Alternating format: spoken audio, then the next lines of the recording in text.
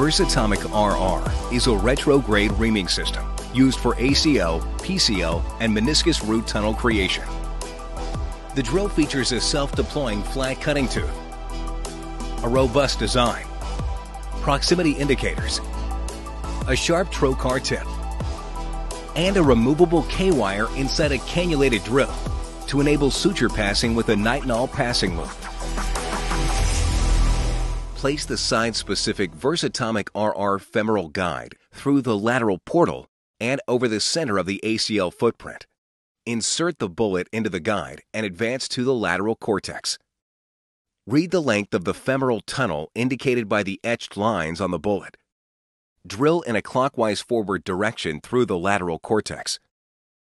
Once the reamer head has penetrated the femoral condyle into the joint space, rotate the bullet 90 degrees and remove the guide.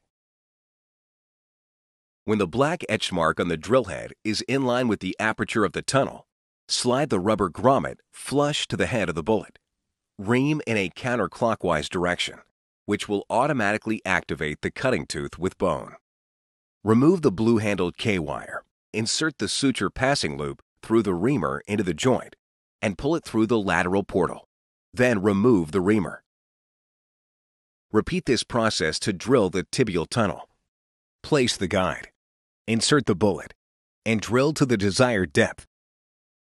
Remove the blue-handled K-wire and reamer.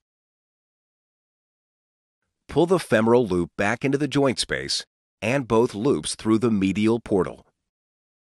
Load the femoral ProCinch speed stitch through the femoral loop and pull through the femoral tunnel. Once the lead and flip sutures are through the skin, unthread the speed stitch. Pull in line with the graft tunnels until the button passes the cortex. Pull on the green lead suture while keeping enough tension on the white suture to keep out slack. Use the flip suture to deploy on the cortex. Use the flip suture in combination with the lead suture to ensure the button has fully flipped. Incrementally tension the adjustable loop by pulling on the tensing tails. Alternate pulling the tensioning tails to adjust the loops a few millimeters at a time. Continue tensioning until the desired length is achieved.